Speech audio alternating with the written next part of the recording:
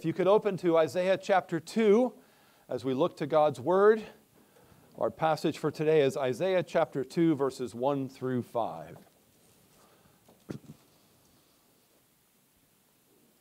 This is the word of God. The word that Isaiah, the son of Amoz, saw concerning Judah and Jerusalem. It shall come to pass in the latter days that the mountain of the Lord, shall be established as the highest of the mountains, and shall be lifted up above the hills, and all the nations shall flow to it. And many peoples shall come and say, Come, let us go to the mountain of the Lord, to the house of the God of Jacob, that he may teach us his ways, and that we may walk in his paths. For out of Zion shall go forth the law and the word of the Lord from Jerusalem. He shall judge between the nations and shall decide disputes for many peoples, and they shall beat their swords into plowshares and their spears into pruning hooks. Nation shall not lift up sword against nation, neither shall they learn war any more. O house of Jacob, come. Let us walk in the light of the Lord. Let's pray. Father, speak to us through your word. Write it on our hearts. Do the work in us that only you can do. We need to hear from you, and we need you to work in us and through us for your glory in all things, we pray. In Jesus' name, amen. You may be seated.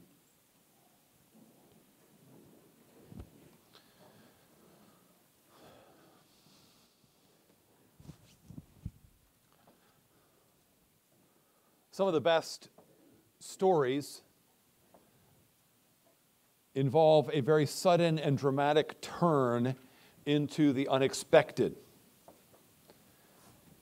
And the good stories, usually toward the end of those stories, there will be a sudden and unexpected turn for the good. For example, at the end of the original Star Wars trilogy, the good one, we see a very unexpected and sudden turn of events for the good, just when it looks like Luke Skywalker has been defeated and Emperor Palpatine is going to kill him and crush the rebellion, Darth Vader steps up to save his son. He grabs the force lightning projecting Palpatine and drops him over the edge, even as that lightning shoots through Vader's life support suit and shorts it out. And then Lando in the Millennium Falcon and Wedge Antilles hit the main reactor of the second Death Star, and Luke escapes with his father's body just before the spectacular explosion. This, this sudden turn of Darth Vader from darkness to light was even more shocking than, than Palpatine's force lightning. Okay, it's a bad pun. At least it was to me when I was nine years old. I remember, like, what? Darth Vader's a good guy now? And, you know. Many great stories, though, conclude with this unexpected turn from disaster to salvation. Frodo is going to walk away from the fires of Mount Doom in Return of the King. He's not he's made the decision he's not going to destroy the one ring. He's going to keep it for himself. So he slips it on and he starts to walk away and Sam is just stunned and shocked that they have come all this way and Frodo has decided not to go through with the mission and then all of a sudden, it's Gollum, of all people, who come in he, and he bites the ring off of Frodo's finger so that he can get it for himself. And in the, in the course of those events, both he and the ring fall into the fires of Mount Doom and are destroyed. J.R.R. Tolkien called these unexpected turns in the story the eucatastrophe or the good catastrophe. It's the surprise ending that makes everything sad come untrue. And he believed that all of these man made eucatastrophes were faint echoes of the great eucatastrophe, which is the resurrection of Jesus Christ from the dead. And that's why we're here. We're here on this Sunday morning worshiping together because when hope seemed lost, when the long awaited Messiah, the expectation of Israel for centuries, had been nailed to a Roman cross and killed in humiliating suffering, the greatest act of evil in the history of the world, suddenly quite unexpectedly to the disciples and everyone else, Jesus rose from the dead and overthrew death and hell forever. Now, with all of these eucatastrophes, you can kind of look back, once it happens, you can kind of look back in the story and see that it was actually being set up throughout the story. There were hints and there were echoes that were preparing for it. And that's what it is with the great eucatastrophe. It was set up, it was foretold, but it still caught everyone by surprise. Today's passage in Isaiah, as we turn from chapter 1 to chapter 2, takes a very sudden and unexpected turn from tragic judgment to a happy ending. Isaiah 1 had ended with a prediction of eternal judgment for the, for the enemies of God. You shall be, talking to the people of God who are in rebellion, you shall be like an oak whose leaf withers, and like a garden without water, and the strong shall become tinder, and his work a spark, and both of them shall burn together with none to quench them. And we talked about that last week, the picture of eternal fire in the condemnation of hell. That's how chapter one ends. But then, chapter two, we see this city, this temple, this mountain, Zion, Jerusalem, the temple of the Lord, exalted, established. And instead of the people of God being unfaithful to God with the nations of the earth, the people of God are now a faithful light to those nations, and the nations are streaming in to the mountain of God, to the temple of God, to hear from God. But even in chapter one, there had been hints that God was going to do something great for his people. Even as he was laying out these stunning charges against his people your hands are full of blood, everyone loves a bribe. Even as he was calling his people Sodom and Gomorrah and a whore, he was telling them that they could be forgiven. Though your sins be as scarlet, they shall be as white as snow and Zion shall be redeemed by justice. But still, the overall picture of the holy city that we see in Isaiah 1 is pretty dark and seemingly largely doomed, and yet in chapter 2, it's suddenly exalted. Why this sudden and shocking turn from such strong language of guilt, pollution, and coming judgment to such gloriously exalted language for the future of Zion? Well, I'd like to suggest that there's both a literary purpose within Isaiah for this turn and then there is a theological purpose, and actually, those are not two different purposes, but they're the same. So I want us to look at this text carefully. So if you have Isaiah out, I want you to follow with me as I give you sort of an overview of where, where we are and where we're going. Isaiah chapter, chapters 1 through 5 are the first part of Isaiah. They're, they're the introduction to the book. And then chapter 6 has Isaiah's call, where he sees a vision of the Lord in the temple and he's actually called to be a prophet. That's where his ministry really begins. Who will go for us? Here I am, send me. That's chapter 6. And these first five chapters, I don't think they represent prophetic ministry that Isaiah had before he was called. You don't have prophetic ministry before you're called. I think what they are is they're an introduction to the whole book that sets up the major themes of the book. Now, chapter one is the preface, it's the introduction to the introduction. And it covers all of the major themes of this book. And we've summarized that in our title for this sermon series, which is How the Holy One of Israel Saves Rebellious Sinners. That's, that's the focus of Isaiah. How the Holy One of Israel saves rebellious sinners. In chapter 1, we see rebellious sinners who deserve judgment, who have God's anger against them, but we also see a promise that they will be forgiven, cleansed, redeemed. Chapters 2 to 4 represent a second prophetic oracle that serves as sort of the body of the introduction of the book. If you look at it, it starts at the beginning of chapter 2 and it goes to the end of chapter 4. It's one oracle. We know it's a new oracle because it's introduced in chapter 2, verse 1, with the word that Isaiah the son of Amoz saw concerning Judah and Jerusalem. So that's telling us this is another oracle. This oracle begins in chapter 2, verses 1 to 5, with what we just read the exaltation of the mountain of the Lord, of Zion. It ends in chapter 4 with the exaltation of the branch of the Lord. Look at chapter 4, verse 2. In that day, the branch of the Lord shall be beautiful and glorious. So we have the exaltation of the mountain of the Lord, the mountain of the temple of the Lord, and then the exaltation of the branch of the Lord as the two bookends of this introductory oracle. And in between, you have words of judgment against God's stubborn, sinful people. So, if you look at the whole of chapters 1 to 4, what you will see is against a dark backdrop of the sinful rebellion of God's people and God's anger against their sin, there shines three precious promises. Chapter 1, verse 18 Come now, let us reason together, says the Lord. Though your sins are like scarlet, they shall be as white as snow. Though they are red like crimson, they shall become like wool. That's a, a promise of cleansing. And then the second promise in chapter 1, verse 27 Zion shall be redeemed by justice, and those in her who repent by righteousness. That's a promise of redemption. And now, in the passage we just read today, a promise of exaltation, of glorification. How is all this possible?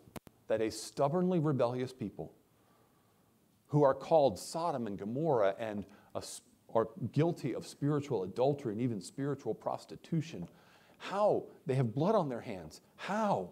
They deserve God's judgment. How can they be cleansed and redeemed and exalted?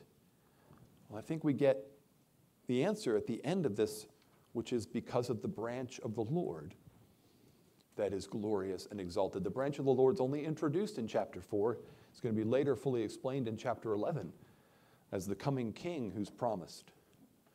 Isaiah does that a lot. He introduces something, and then chapters later, he explains it in more depth.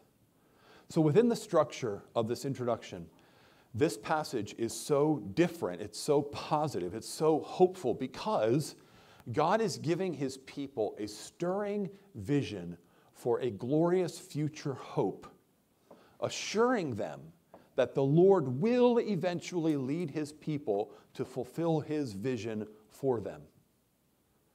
In the middle of these strong threats of judgment, he wants his people to hear and remember the greater plan for their eventual redemption and glorious hope for the future. One of my favorite short passages from Return of the King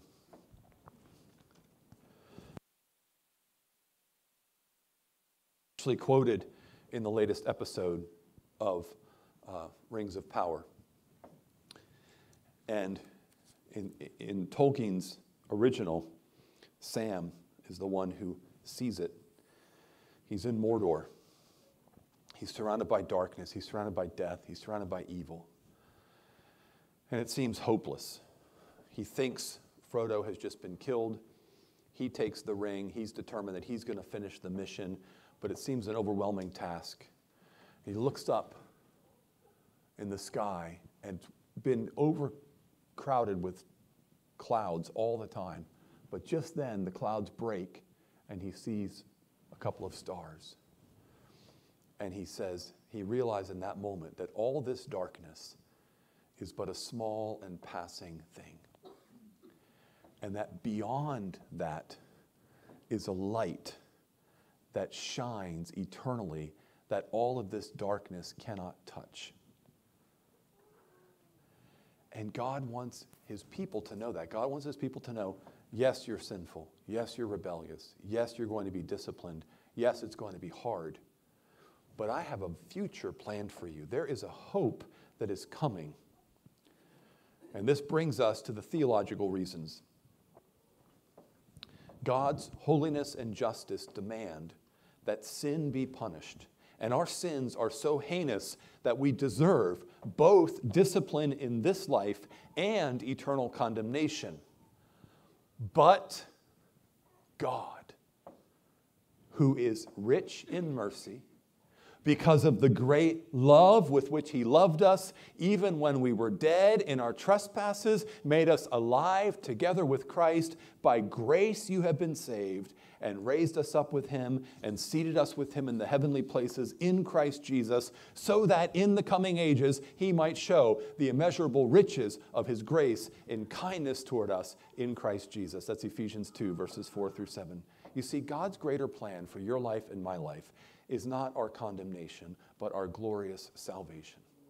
Not our eternal destruction, but our eternal glorification.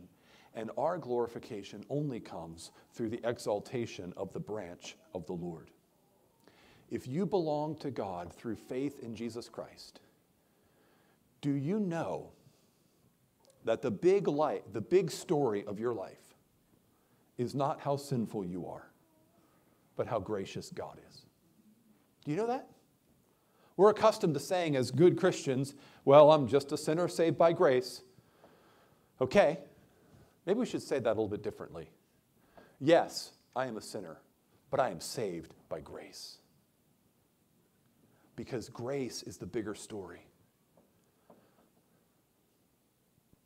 The big picture framework of your life is not how you suffer consequences for your foolish choices, although we all do but it is rather how the Lord chose you from all eternity and will glorify you for all eternity.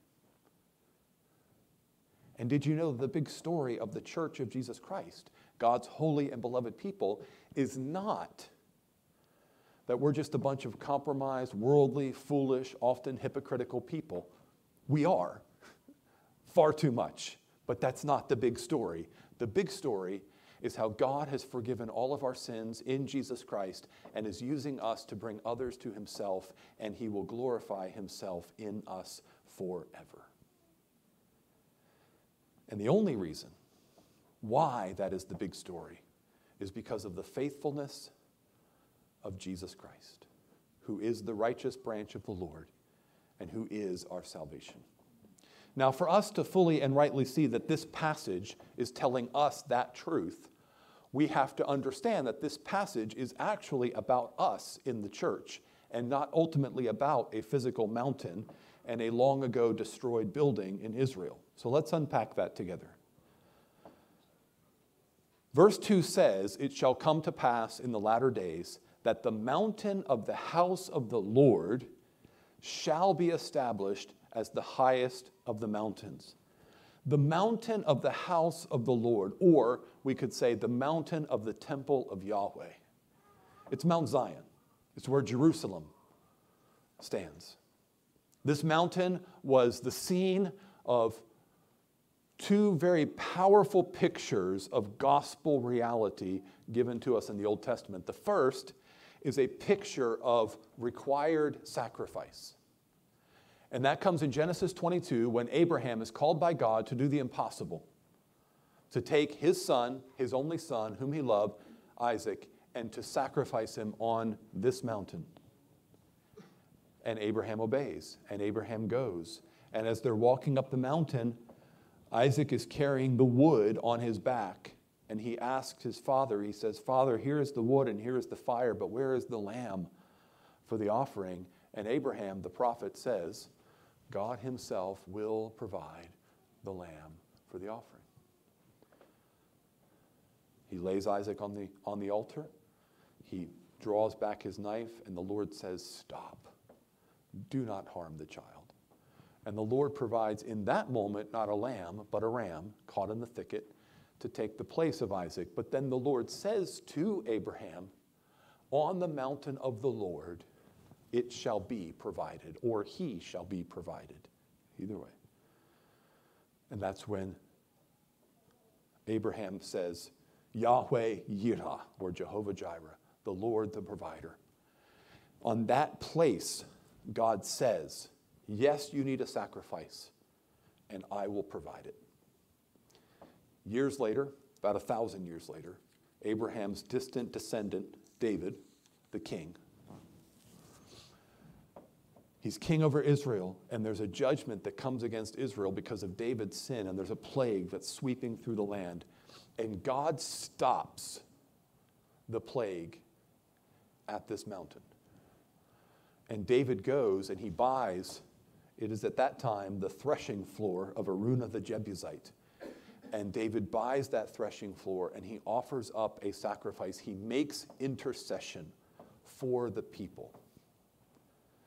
And then he buys the land, and his son Solomon builds the temple there. So it's a place of provided sacrifice, a promise of provided sacrifice. It's a place of intercession for God's people. And then it becomes the place of the gathering of the worship of God's people when it becomes the home of the temple. But when Jesus came into the world, he went to that temple and twice he cleansed it. Because one thing that was very, very consistent at that temple is that God's people kept polluting it with their faithlessness. At times, they would be so bold as to bring idols into the temple and to worship false gods right there in the midst of the temple. But when Jesus got there, they thought they had fixed it all. There were no more idols. They thought they were doing it right and making a lot of money out of it in the process. There were money changers and there were animal sellers, and Jesus, twice, he turns over the table, he drives out the money changers and the animal sellers, and he says, My father said, My house will be a house of prayer for all nations, but you have made it a den of robbers. The same exact accusations that we hear leveled against God's people in Isaiah, Jesus levels against them again. You have thieves, you have robbers in the very temple of God. And then Jesus says, the first time he cleanses the temple, Jesus says something very interesting. In John chapter 2, the Jews said to him, What sign do you show us for doing these things? And Jesus answered them, Destroy this temple, and in three days I will raise it up. The Jews then said, It has taken 46 years to build the temple, and will you raise it up in three days?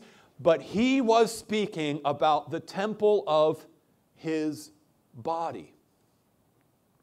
When therefore he was raised from the dead, his disciples remembered that he had said this, and they believed the scripture and the word that Jesus had spoken. When that great eucatastrophe came, that great sudden reversal, they said, Oh, yeah, Jesus talked about this. He said, If you destroy this temple, in three days I'll raise it again. Jesus said his body was the temple. He also prophesied that that second temple in Jerusalem, known widely as Herod's temple, would be completely cast down and destroyed. In Matthew 24, Jesus left the temple and was going away. His disciples came to point out to him the buildings of the temple. He answered them, You see all these, do you not? Truly I say to you, there will be not left one stone upon another that will not be thrown down. And in the year AD 70, that temple was torn down and it has never been rebuilt. Because God is not interested in rebuilding that temple, because He's already in the process of building a new and better temple. In the Gospel of Matthew, Peter makes his great confession of faith You are the Christ, the Son of the living God. And Jesus responds to that confession of faith by saying, On this rock I will build my church, and the gates of hell will not prevail against it. So Jesus said during his earthly life, My body is the temple. And he said, On Peter's confession of faith, I will build my church. In Ephesians chapter 2, we're told that we in the church who belong to God through faith in Jesus Christ are fellow citizens with the saints, members of the household of God, built on the foundation of the apostles and prophets, Christ Jesus himself being the cornerstone, in whom the whole structure, being joined together, grows into a holy temple in the Lord. In him you also are being built together into a dwelling place for God by the Spirit. Paul says, You and I are members of the household of God. And what he means by that is this picture you're a stone in the living temple. Peter makes that even more explicit in 1 Peter chapter 2, he says that we are living stones who are being built up as a spiritual house to be a holy priesthood to offer spiritual sacrifices acceptable to God through Jesus Christ. And of course, you probably know the church is also called the body of Christ in Romans 12 and 1 Corinthians 12 and in Ephesians 4. So the church is the body of Christ and is the living temple of God. Christ is the head of the body and the chief cornerstone of the temple. We are that body and we are that temple. Not only that, but there's language in Galatians 4 and in Hebrews 12 that tells us that we in the church are the fulfillment of Mount Zion. We are standing on Mount Zion as the temple of the Lord in the Lord Jesus Christ. And so the church is the fulfillment of the true Jerusalem, the Jerusalem above that is free. That's what Galatians 4 says. Also, the true fulfillment of Mount Zion, the place where God meets redemptively with his people, and the, and the fulfillment of the temple of God. Why does all this matter? Why does it matter that we are the true Jerusalem and the holy temple? It matters in part because it means that the Old Testament is indeed our story. That the people of God are indeed our people. That the promises of God that are given here in Isaiah 2 are our promises. There's a school of thought that has been teaching for years that this is referencing the rebuilding of an earthly temple on an earthly mountain in Jerusalem, and that only when that happens will this come true. And we miss the clear biblical teaching that we are the temple that God is building. There's no point in going back to an earthly Jerusalem, to an earthly temple. So what? Animals can be sacrificed again? That age is past. That was an age of preparation. We are in the age of fulfillment. Those were limited earthly physical things that were pictures. We are now the fulfillment of those pictures. When Jesus said, listen to this, when Jesus said, I will build my church, and the gates of hell shall not prevail against it. What are gates? They're defensive, they're used to keep out an intruder. Jesus says, I'm going to build my church and it's going to spread to the nations. When he left, he told his disciples, All authority in heaven and on earth has been given to me. Go, therefore, and make disciples of all the nations. Go and make disciples. And Jesus says, as the church advances to the ends of the earth, the gates of hell that have kept people locked in strongholds of ignorance and unbelief, the gates of hell cannot stand against the advance of the gospel light through the church. And so people would ask, well, when is this going to happen? Well, verse 2 tells us it happens in the latter days. So, what time does the Lord have in mind for this prophecy? And a very common answer to this question is well, this is going to happen in the last days, in the days of the millennial kingdom. Or maybe you know when Antichrist comes. And I would say, yes, that is correct. But I would also say, I do not think those words mean what you think they mean. And they might say, inconceivable. But we if you read the New Testament, we are living in the last days. And there's already Antichrist at work in the world, and Christ is already reigning over his kingdom. Someone ever asked me, Do you think we're living in the last days? I say, I know we're living in the last days. Because if you just read what the New Testament says about the terms last days and last hour, it's very clear. First place we see this is in Acts chapter 2. The Holy Spirit's just been poured out on the day of Pentecost. All people are speaking in tongues and they're, and they're prophesying. And Peter gets up to preach the first sermon of the New Covenant era. And he says, to explain what is happening, he says, This is what was uttered through the prophet Joel. And in the last days, it shall be, God declares, that I will pour out my spirit on all flesh. Peter is saying that the prophet Joel, the last days prophecy about the pouring out of the Holy Spirit is fulfilled on the day of Pentecost. And so the day of Pentecost was in the last days. Hebrews chapter 1 opens by saying, Long ago, at many times and in many ways, God spoke to our fathers by the prophets, but in these last days, He has spoken to us by His Son, whom He appointed the heir of all things, through whom also He created the world. So the author of Hebrews identifies the days they were living in in the first century, in which God has spoken to us by His Son as these last days. And today, guess what? The Spirit is still being poured out on all believers and God is still speaking to us in His Son, so we're still living in the last days. In fact, we're not only living in the last days, but we're living in the last hour. Here's what John says in 1 John chapter 2 Children, it is the last hour. And as you have heard that Antichrist is coming, so now many Antichrists have come.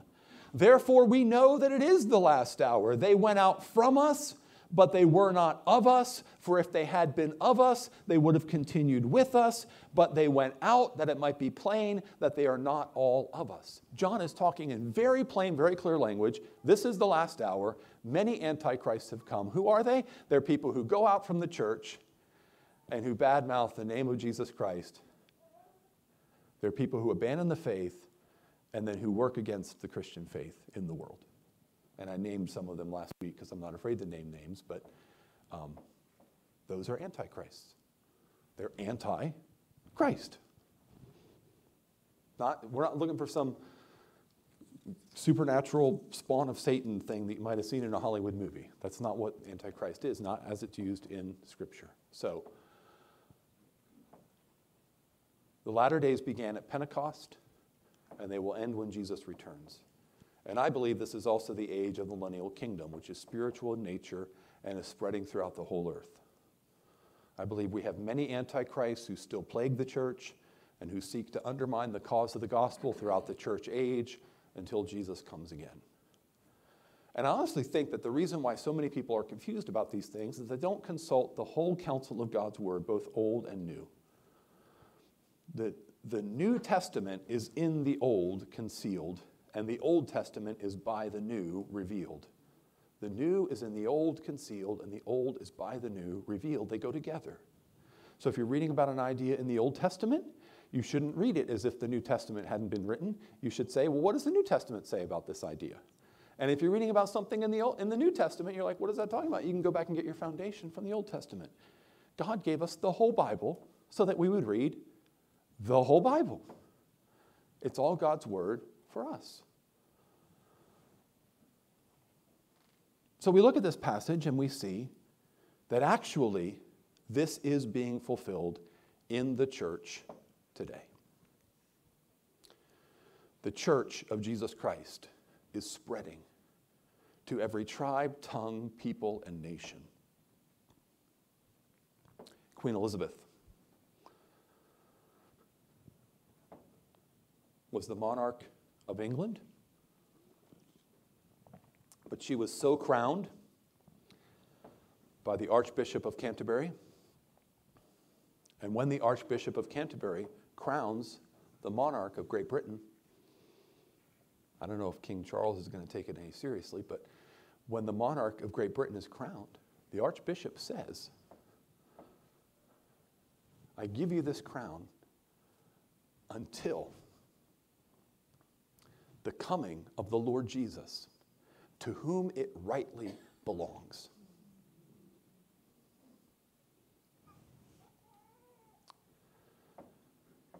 Jesus is King of Kings and Lord of Lords. And yet we don't see all of this passage being fulfilled, do we? We certainly don't see the nations beating their swords into plowshares and their spears into pruning hooks. We don't see the case that nation will not lift up sword against nation anymore. People of Ukraine know that painfully well. In fact, we have such darkness in the world that even a professing Christian leader of the church, like the leader of the Orthodox Church in Russia, can say, Russian men, if you go and fight in Ukraine, you are fighting in a godly cause and you will be blessed by the Lord. So we don't see all this happening, but we do see it happening, but not all the way. And this is true of all of these kinds of promises. And so what we have said is that we live in an age of fulfillment, but not consummation. Or we live in an age where the, the kingdom of God has already come, but it is not yet fully revealed. We live in the already, but the not yet. Christ is enthroned as King of kings and Lord of lords. He sits at the right hand of God the Father on high, and he will reign forever and ever. Amen? But the world doesn't know that. The world laughs at Christians for believing that. But one day he will come again, and he will be revealed from east to west, and every eye will see him, and every knee will bow, and every tongue will confess. That day is not yet, that day is coming. And when that day comes, we will see this passage not just fulfilled, but actually fully consummated. Fully consummated. This gives us what I would characterize as a grounded and realistic hope. A strong and certain hope, but also realistic expectations for this age before Jesus comes again. What do I mean by that? we have the promise of God that the gospel will continue to advance in this world. We, that's why we do missions. We're, we're training men and sending them into Sudan because we believe that the gospel will bear fruit in Sudan. But we don't believe that there will be the glory of the kingdom until Jesus comes again. And so we keep our expectations realistic. And we know that right alongside gospel advance, the church will continue to face opposition, even violent opposition. But just as surely as the cross must come before the crown, we can be assured that the crown is coming and that our age of taking up our cross daily and following Jesus will come up to an end. But as long as we're in this life, we're still called to take up our cross daily and follow Jesus. We're still told everyone who wants to live a godly life in Christ Jesus will be persecuted. So the kingdom comes, but it comes with persecution until Jesus comes again. So, what we have in this passage is a, a call to the church. This is what Christ is doing, and this is what Christ will do in and through his church. And so, what do we do in the meantime? What do we do while we wait in hope? Well, the final verse has a very simple and gracious invitation to us. O house of Jacob, that's you and me, that's the church. O house of Jacob, come, let us walk in the light of the Lord. This world is full of darkness. The light of the Lord is the Lord's goodness, truth, and righteousness. And if we are confident in our glorious hope, it means we don't need to chase after the world's empty promises or cower in fear of the world's threats. Instead, the call is very simple and very plain and very encouraging. Come, come, let us walk in the light of the Lord. So we don't put our hope in political strategies or culture wars we put our hope in the gospel of Jesus Christ, in the church of Jesus Christ, in the abiding presence of the Holy Spirit, in our witness to the nations, and in the coming of the Lord Jesus Christ when he will come again in victory. And we are to walk in the light of the Lord. Amen? Let's pray. Father, who are we? I mean, really. Who are we, Lord, that you would include us in this kingdom? That you would call us to be living stones in a holy temple that is being built up to glorify you.